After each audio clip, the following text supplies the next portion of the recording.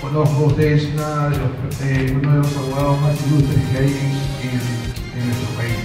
Doctor, reciba este reconocimiento del ilustre Colegio de Abogados de Guadalajara. No tiene por.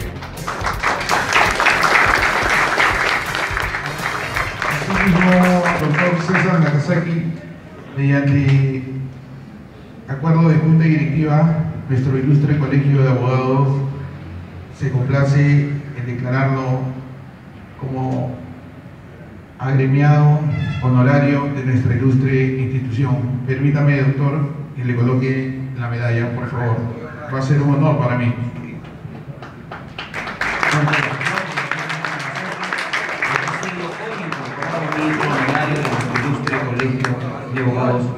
de.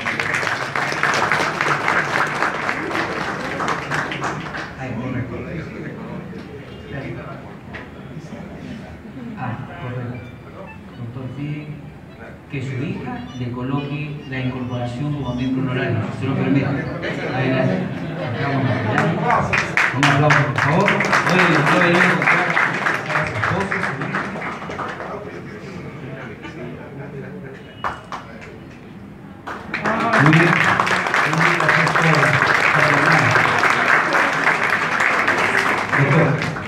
Invito al joven Giovanni Valenzuela Aguirre, representante del Centro de Estudio Multidisciplinario de CFK Corporación, para que entregue también un reconocimiento a. Muchas gracias, muy amable.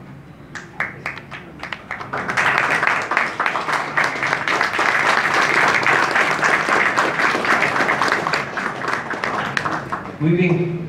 Eso es todo en cuanto a hoy. Que tengan ustedes, doctor, algunas palabras.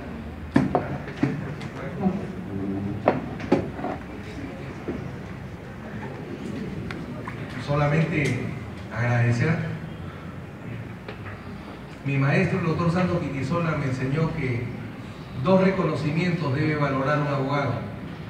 Los reconocimientos que hacen sus maestros, porque son quienes los han formado y saben si es que ese abogado ha logrado o no lo que ser el fruto de las semillas que sembraron y el reconocimiento especialísimo de sus colegas, porque nadie mejor que los colegas para saber quién es uno en la abogacía.